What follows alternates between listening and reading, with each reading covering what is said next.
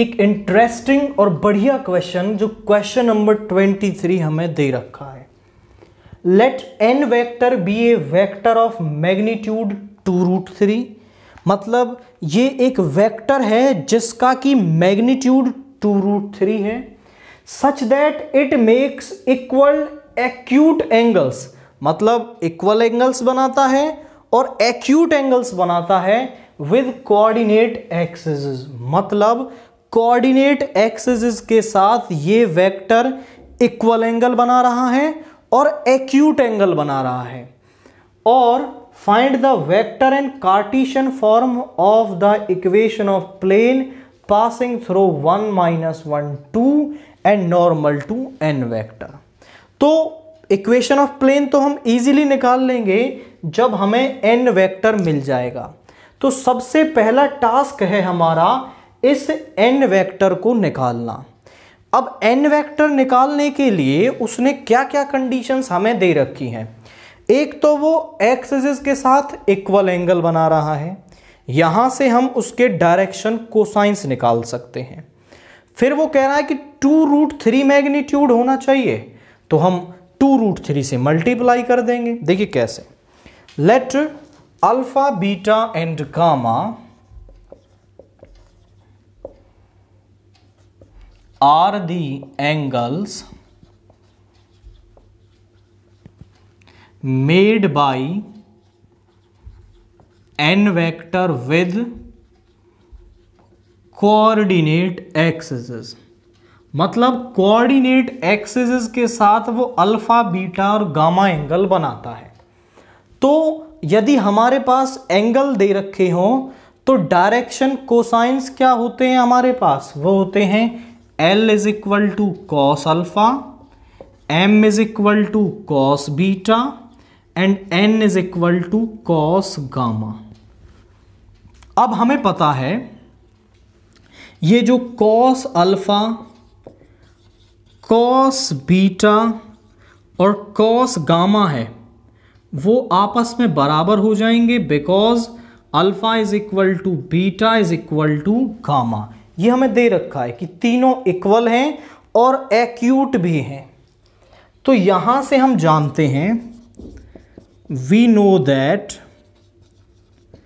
l square plus m square plus n square is equal to one तो यहां से cos square alpha cos square beta cos square gamma is equal to one मैं cos beta को भी cos alpha रख सकता हूं और कॉस गामा को भी कॉस अल्फ़ा रख सकता हूँ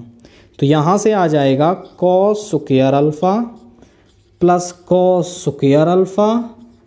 plus cos square alpha is equal to one which implies that three cos square alpha is equal to one three को इधर ले जाएंगे cos square alpha is equal to one by three ये इधर जाएगा so cos alpha is equal to plus minus 1 by root 3 which implies that cos alpha is equal to 1 by root 3 because alpha is acute आप समझें आप बोले sir negative क्यों नहीं लिया जब हम नेगेटिव साइन लेते हैं तो हमें एंगल ऑब्ट्यूज एंगल मिलता है और पॉजिटिव साइन से हमें एक्यूट एंगल मिलता है बट यहां पर उसने क्लियर बोल दिया कि एंगल्स इक्वल हैं और एक्यूट हैं तो positive one by root three होगा सो कॉस बीटा भी कितना हो गया one by root three cos gamma भी कितना हो गया one by root three so DCs of n vector वो है one by root three one by root three one by root three so unit normal vector वो क्या आ जाएगा unit normal vector n cap is equal to one by root three i cap one by root three j cap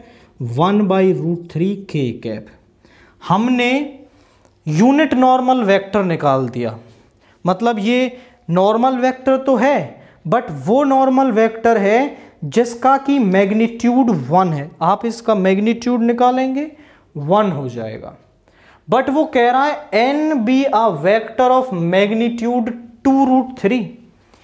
जब हमें ऐसा case हो कि हमारे पास यूनिट वेक्टर दे रखा हो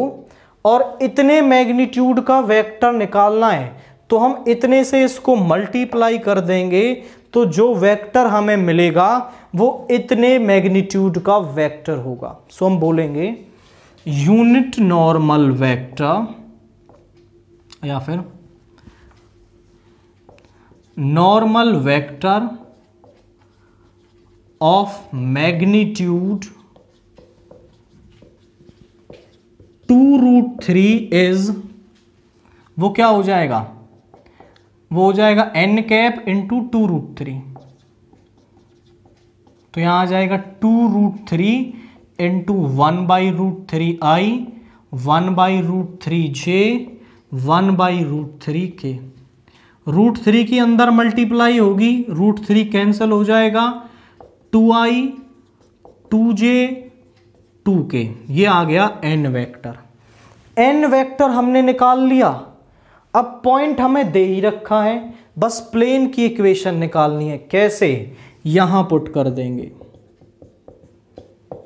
ये पॉइंट दे रखा है नॉर्मल मिल गया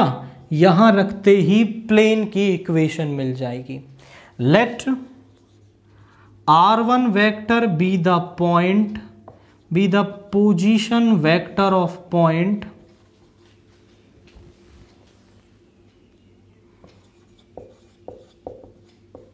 1 minus 1, 2.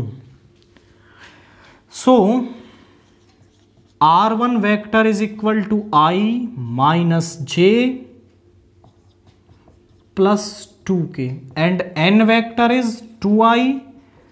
plus 2j plus 2k. So equation of plane passing through passing through r1 vector and normal to n vector is given by r vector minus r1 vector dot n vector is equal to zero यहाँ put करने से हमें उस plane की equation मिल जाएगी तो r vector minus i minus j plus two k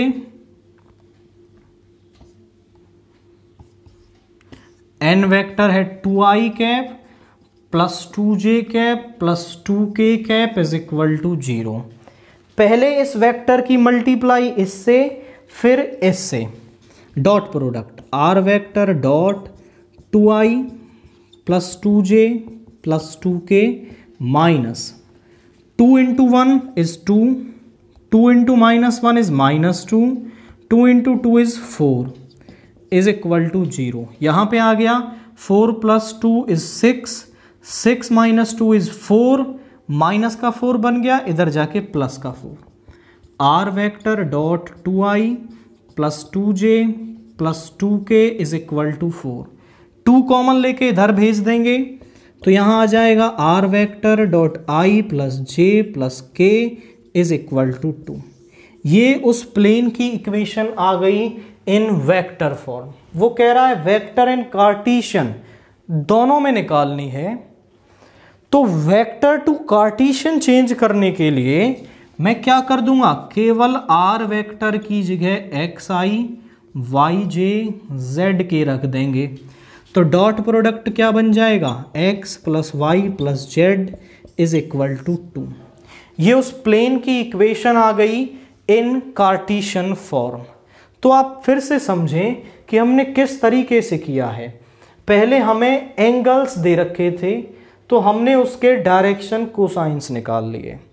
क्योंकि एंगल बराबर दे रखे थे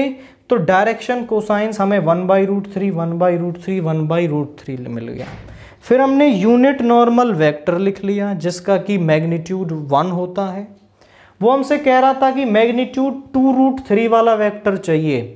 तो टू रूट थ्री से मल्टीप्लाई कर दिया तो हमें नॉर्मल वेक्टर मिल गया और फिर वो पॉइंट और नॉर्मल वेक्टर को हमने यहाँ रखा है और हमें प्लेन की इक्वेशन मिल गई